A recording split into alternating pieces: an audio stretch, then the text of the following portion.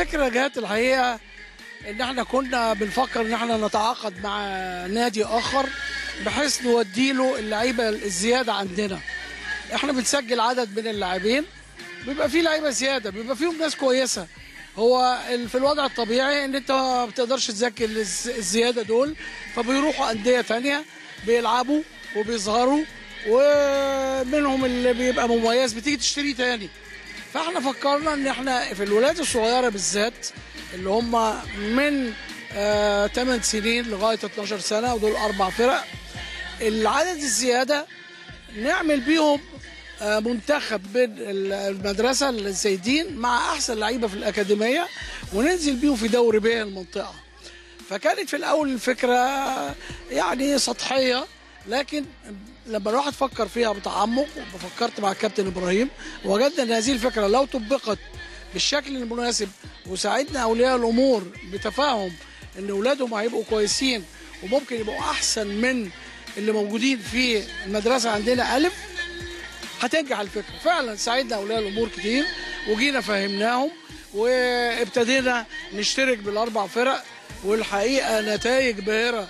يعني بعد خمس ست ماتشات جه الكابتن إبراهيم قال لي في أولاد ظهروا أحسن من اللي أنتوا آه، واخدينهم في ألف. في نهاية البطولة أقول لك الأربع فرق ثلاثة كسبوا أول وفرقة خسرت في الفاينل. في الاولاد خدنا عدد لا بأس به على الأقل 27 واحد خدناهم. يعني كل فرقة على الأقل فيها خمسة ستة. وفي ناس طالعة معايشة.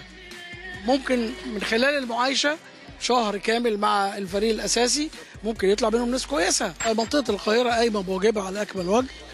فيهم ناس محترمة جدا وكلهم زمايلنا وحبايبنا ولكن بتقابلهم مشكلة عويصة وهي مشكلة التزوير والتسنين إذا ما قدروش يقضوا على هذه المشكلة ويحلوها الحل الجذري فكل البطولات اللي بتتعمل لا فائدة منها.